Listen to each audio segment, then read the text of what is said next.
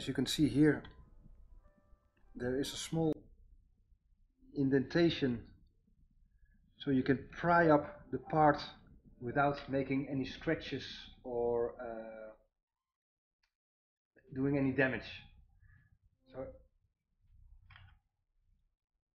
it's just made, I'll show you the underside, uh, underneath. And in the previous Pateks, Pateks I did, um, see if it's the same here. Let me show you. You can see the part that's uh, milled out. Hey, that's loose. Did you guys see that? The pellet fork bridge was very loose. That could have been touching the balance wheel.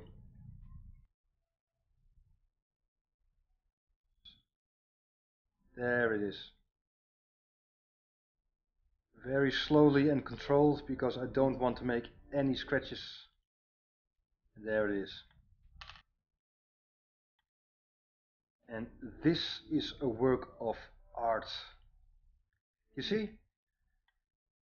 There was some tension left in the mainspring, uh, even though uh, the ratchet or the click was uh, released.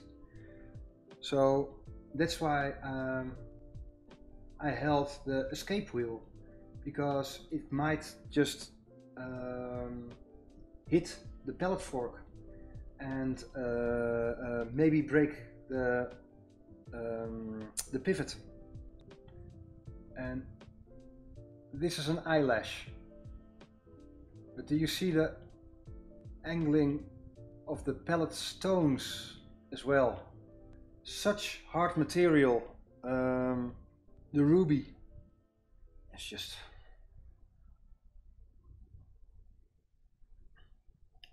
ah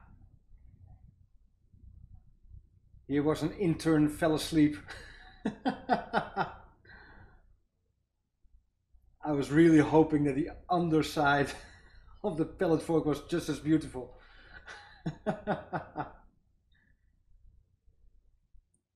but yeah, Minterbill, the hours must have gone into it. Of uh, somebody used their um, screwdriver to pry up um, the pellet fork bridge. Oh well. Now I'd like to test the gear train.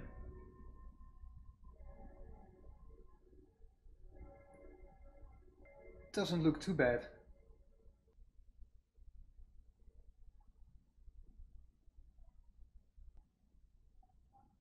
Yeah. Not too much play um, between the pivots and the jewels. That's why I do this uh, small test.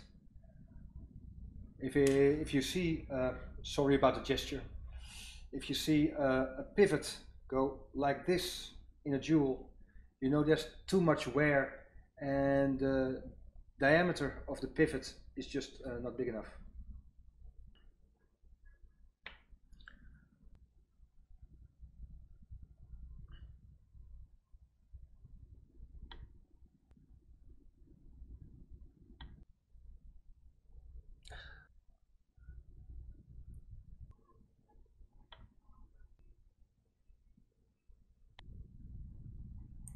That's it. If you want to pry up a spring like this, you don't want to put do put too much force here because then it will stress around here and it might break because it's uh, carbon steel and um, it's very brittle so if you want to remove a spring like this, don't pry it up there, but very close to the base so it won't bend and might break. Liggend op windrad, de winding pinion staand op windrad. Not too much play elasticity. Yeah. You can see a tiny bit of play here I mean, I touch the edges, but really not too much.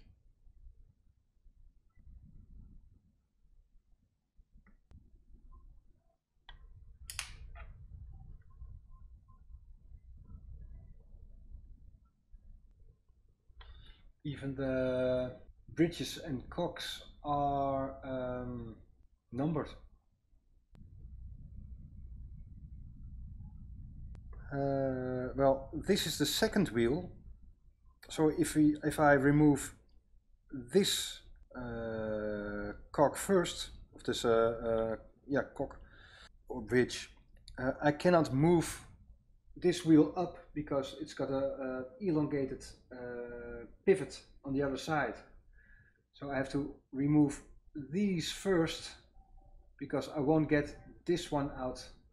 So first I'm going to remove this part and then I can pick up this part because of the uh, second hand uh, pivot. I think each part is made for each um, movement because of the Côte de Genève because they are running through and if you got the angle just wrong uh, it just won't look right. So that's why I think all parts are numbered because of the Côte de Genève here on top.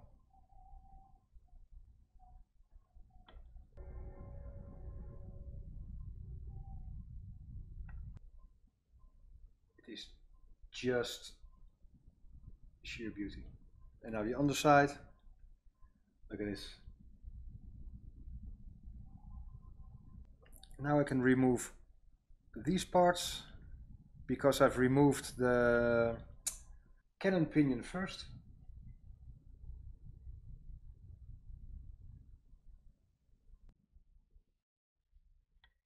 And now I first have to remove the third wheel.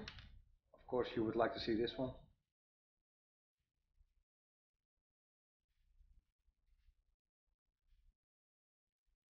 And then I can remove this one because it's got a long pivot.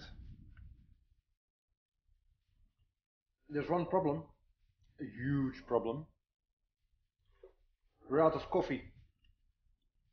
Here's the ratchet wheel and I know there will be a beautiful beautiful surprise underneath here because I just saw it uh, on the other side the from the dial side and that's beautiful.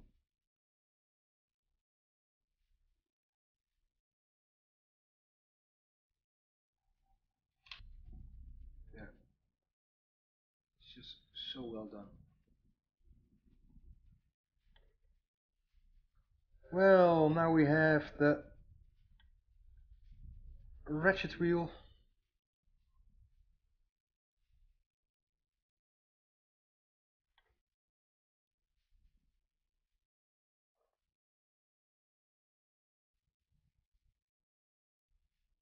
That looks very strange.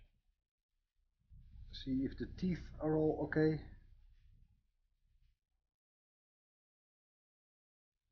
Yeah, but you don't have to open it from the side. I think somebody used it as a lever to pick up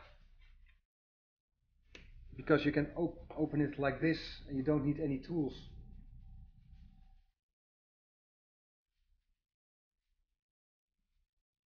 I think uh, Peter, uh, Capture 2015, saw the perlage on this part, and that is completely in line with the rest of the, the bridge. And now you can see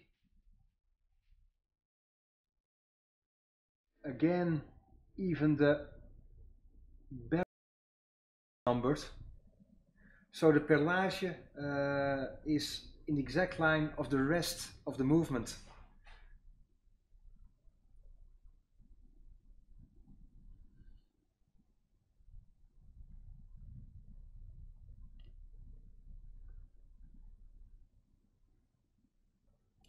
It seems to me there's a new spring in there.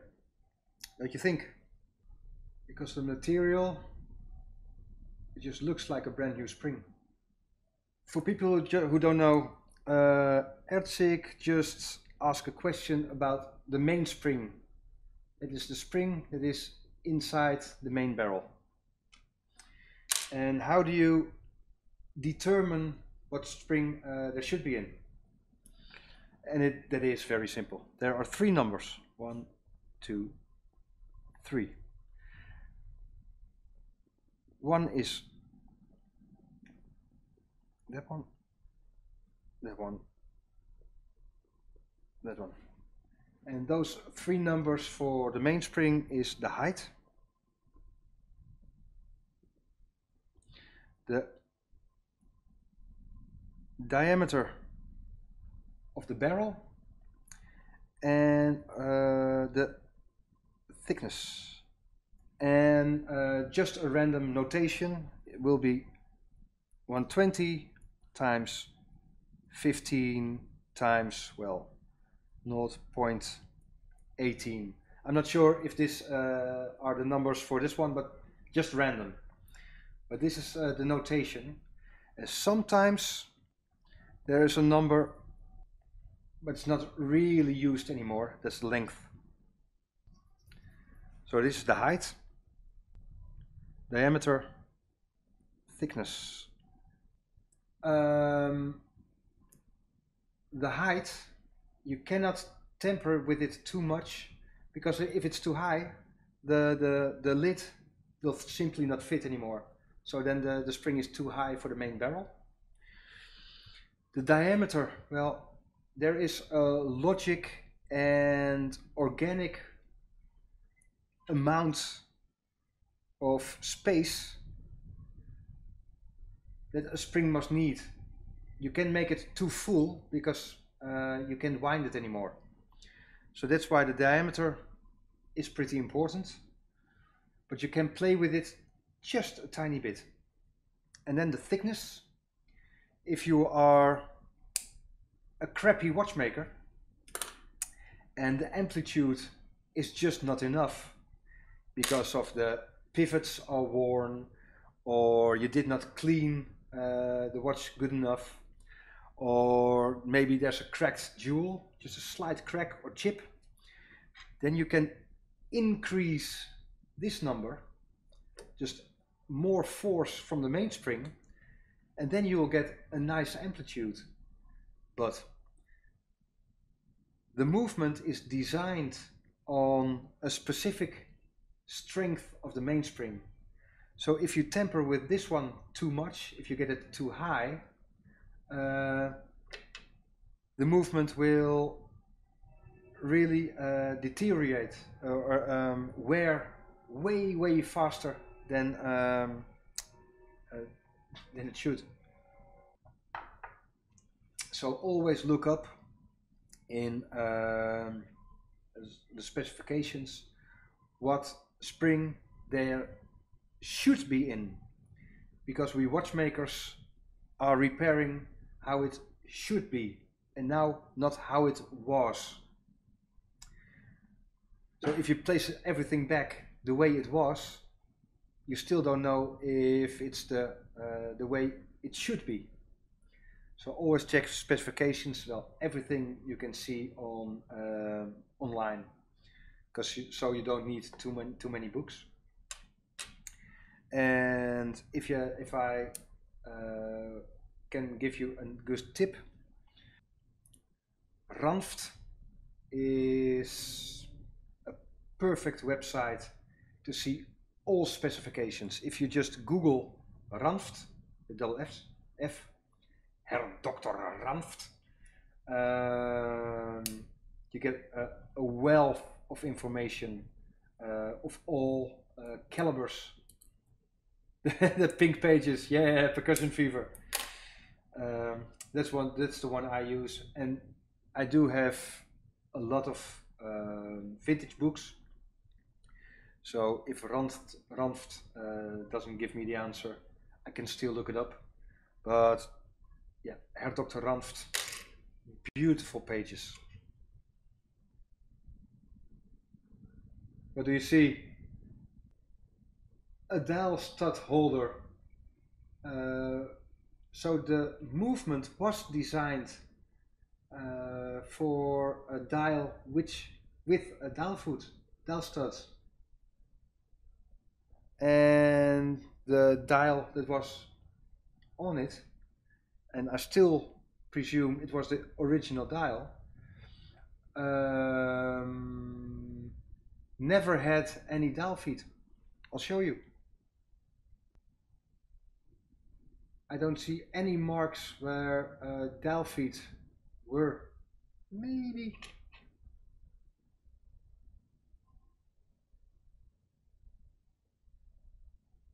So no sign of any broken dial feet. I still think the dial was kept in place by the, uh, the bezel, the lunette.